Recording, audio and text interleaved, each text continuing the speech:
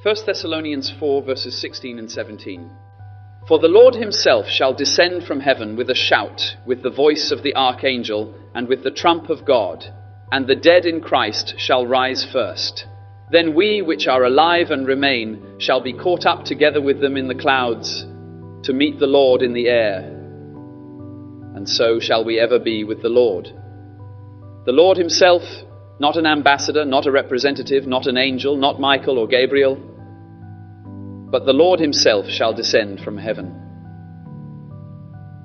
Oh, what a glorious day that will be! And he's not coming in silence, but with a shout a shout that will penetrate the graves, a shout that will shake the very foundations of this world.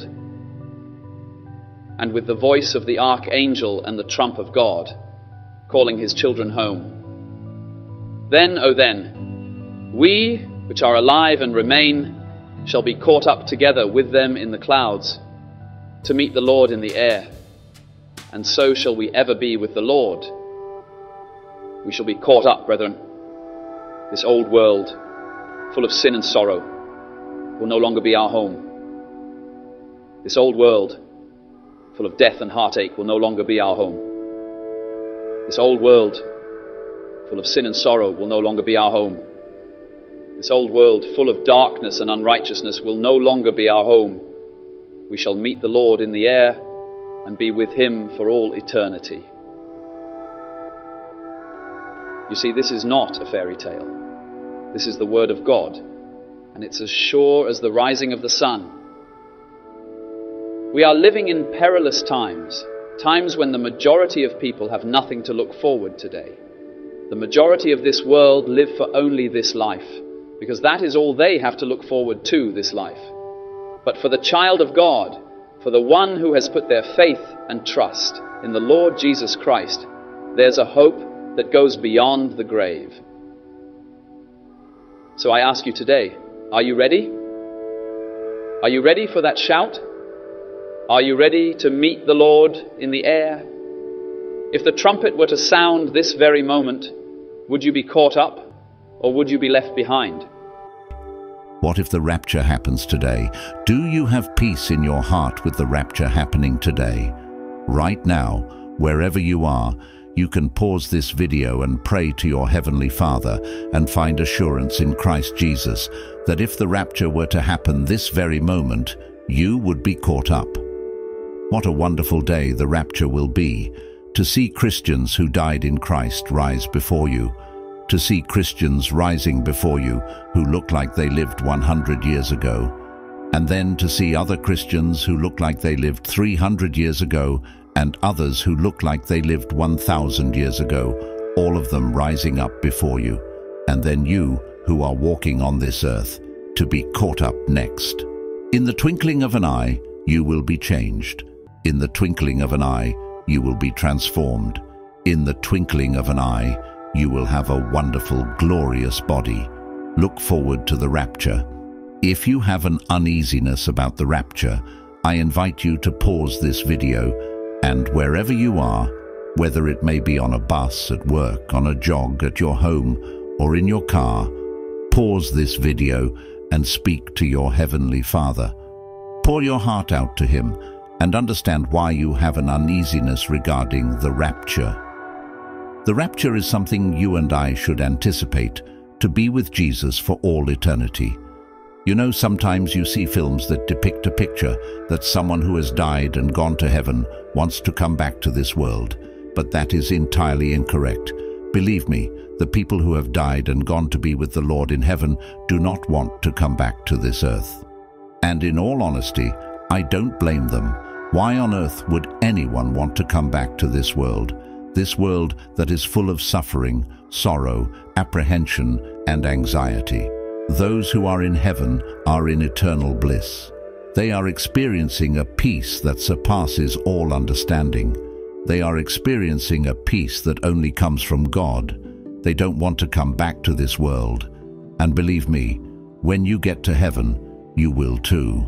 Oh heaven, oh heaven, when the rapture happens, the saints like you and I will be taken to be with the Lord in heaven. Look forward to the rapture in heaven, there will be no fear of the future. There will be no fear of tomorrow. There will be no fear because of rising interest rates. There will be no fear of rising inflation. There will be no fear of mortgage repayments. There will be no fear of rent rises. In heaven, you will think to yourself, I am here. For a moment, just a moment, I want you to close your eyes and just attempt, just attempt to imagine how you will feel to know you have made it to heaven. And for all eternity, this will be your state. Our imagination is too weak to even imagine what we will feel. To open your eyes and see the eternal bliss of heaven, you will think to yourself, Thank God I accepted the free gift of salvation. Thank God for what Jesus did for me on the cross. Thank God I walked on the narrow path and not the broad road that leads to destruction. Look forward to the rapture. I have preached in the past on the sermon topic regarding 10 minutes before the rapture. In this sermon, I spoke of how, when I was very young in the faith, for some reason, I always thought that 10 minutes before the rapture, the sky would turn black midday, and the sun would cause the sky to look apocalyptic, and the winds would start blowing uncontrollably, and then a great meteor shower would take over the skies. And everyone would look up to the sky watching the meteor shower fall to the earth. And there would be a great earthquake that will shake the foundations of the earth 10 minutes before the rapture and the waves would start roaring, and lightning would begin to flash uncontrollably. And people would know something big is about to happen. In this sermon, I went on to detail that in the past, I heard a man say, I will live the life I want to live, and then right before the rapture happens, I will change my life. But I emphasized the point that how will you know when the rapture will happen? This is why it is important to live each day as if the Lord Jesus Christ will call your name in the clouds today. We don't know when the event of the rapture will happen. You won't get a notification on your phone telling you that the rapture is about to happen in 10 minutes. It will happen when you least expect it. You will be where you always go if you regularly sneak out of the house to commit shenanigans, you will be where you always go. If you regularly go to church, you will be there. If you regularly go to prayer meetings, you will be there. Now, today, I want to preach a sermon to you. Not about 10 minutes before the rapture, but about 10 minutes after the rapture. 10 minutes after the rapture, I pray that everyone hearing me now will be in the presence of the Lord. But the harsh reality is that 10 minutes after the rapture, not all of us will be with the Lord. Because even now, as I preach, not all who are listening to me are with the Lord. For a few minutes, I want you to consider two groups of people and the terror and the regret that they will feel 10 minutes after the rapture.